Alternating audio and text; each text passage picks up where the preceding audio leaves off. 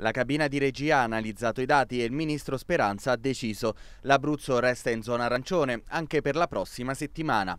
Metà Abruzzo, visto che rimane in vigore l'ordinanza regionale che pone le province di Chieti e Pescara in zona rossa. L'indice di contagiosità RT in Abruzzo è a 1,17. La zona rossa sarebbe scattata automaticamente al valore di 1,25.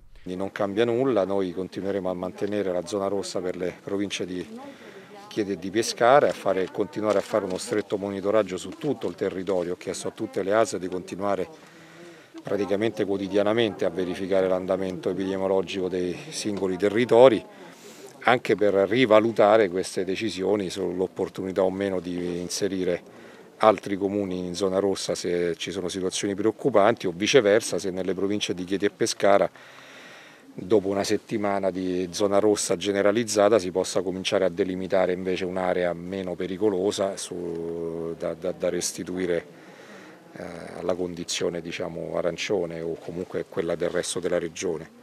Rimane però allarmante la pressione sugli ospedali. Oggi tre persone in più sono in terapia intensiva per un totale di 73 pazienti su 189 posti disponibili. Il tasso di occupazione sale quindi al 38,6%. 546 pazienti, meno 6 rispetto a ieri, sono invece ricoverati in area medica per un tasso di occupazione di pochi punti percentuali al di sotto della soglia di allarme del 40%. Oltre all'RT, forse in Abruzzo ha pesato per mantenere l'arancione proprio la decisione autonoma di porre metà regione in zona rossa.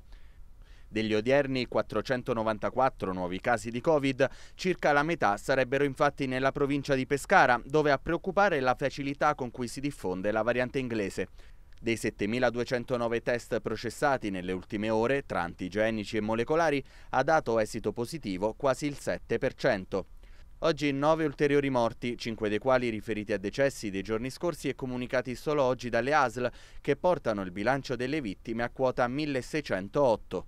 E considerando anche i 416 guariti delle ultime ore, attualmente in Abruzzo vi sono 12.377 positivi accertati, 69 in più rispetto a ieri, di cui è ospedalizzato circa il 6,5%.